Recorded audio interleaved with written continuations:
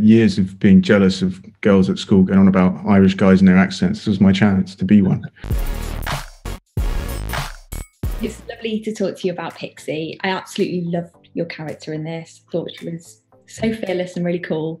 Um, how satisfying was it to be Irish? Because there is no accent better. I know the accent is lush and I love to listen to it and I can listen to it all day long. But having to do it was one of the most terrifying experiences ever because stupidly beforehand I Googled worst Irish accents of all time. And then I was like, well, you could be on this list, Olivia. And I was like, um, so I drove, I think I drove everyone mad, especially Daryl um, McCormack, who's um, one of the lads in it who is Irish, being like, Daryl, can you just say this for me, just in, in the accent, and then just whisper it to me before we start? And God, yeah. It's a wonderful accent, isn't it? Yeah, yeah. Years of being jealous of girls at school going on about Irish guys and their accents. This was my chance to be one.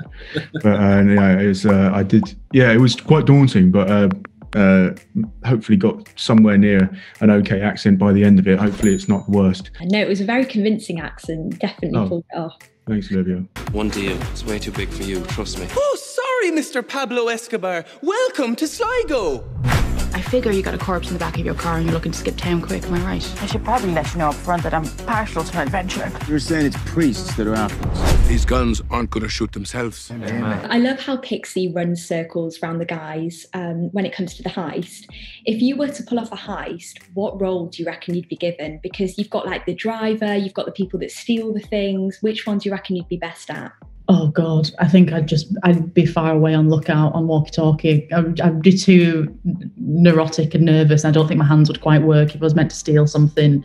Um, I would like to think that I'd be able to just be just really level-headed and calm, but I, I wouldn't. I'd like to be as far away. Maybe I'd be like Intel in a van. Who do you reckon would um, pull off a heist between Ben and Daryl? Ben, probably. I think Daryl might get a bit flustered, but I think Ben would, would maybe tap into something else. He's got the experience from um, the film he was in, the action film Six Underground. So yeah, I reckon he could pull it off. Yeah, absolutely. Yeah, I, I think I would be good, but I w- I th- wouldn't agree with uh, Liv's assessment of Daz because Daz Thanks. is Daz is very zen. You know, I would spend mornings in the car with Daz, and he'd just be so zen. I I feel like he'd zone in and just like yeah, yeah, yeah, yeah, happen. Yeah. yeah. I think driving would be. I'd have like those blinders when I'm driving. You know, everything else would yeah. just become blur, and I'd be like. Be like the opening scene of Drive, if you've seen that. Yeah, exactly. yeah just there.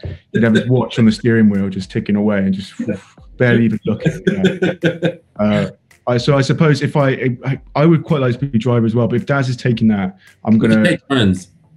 Take turns. Yeah, take turns. Stop off halfway. we're, we're, the police are chasing us. Daz, it's my turn. My turn. Uh, I'll, I'll go. You know what? I'll go in there and do and do the heist. I feel like I'm. I could do it. I could do it. I'm, I'm up for the challenge. I'm up for the challenge. Do you reckon Olivia would be able to pull off a heist? Um, no. No. no.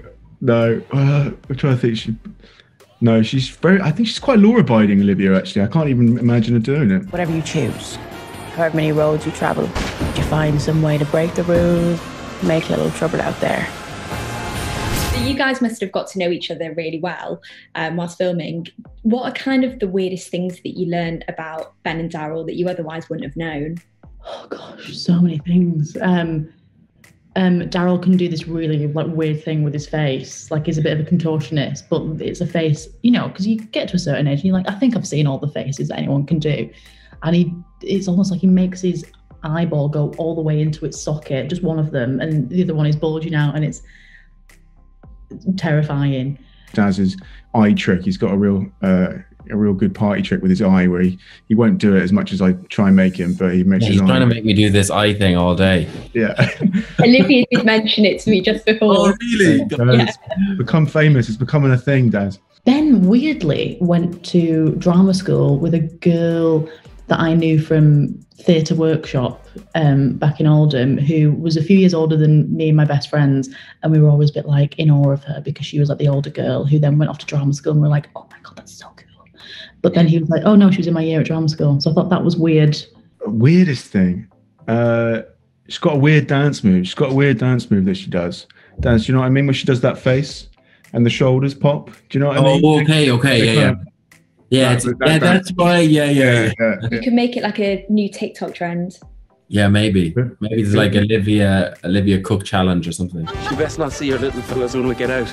It's a dangerous path you're taking here, boys.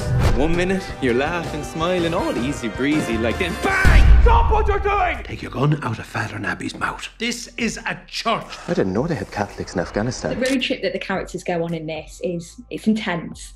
Um, if you were to go on a road trip with any fictional character within pop culture, who do you reckon you'd choose to go with? Oh God, is it really bad to say Andrew Scott Hot Priest? Oh, that'd be amazing. That's You know what I mean? Do you know what I mean? Because also it's like you know they, they just hopefully in my you know dream world there'd be there'd be chemistry there, there'd be sexual tension, but it would never be consummated because we can't. You know, so that'd like bring an extra layer to the to the road trip.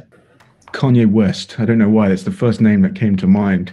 That I would be. think, I'd, I think I'd want to kill him by the end of the road trip, but I think it would be very interesting. Be locked in a car with that man for three days or something. Yeah.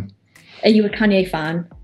I yeah, but like up and yeah, I am a Kanye fan. Yeah, I am a Kanye fan. I'm not.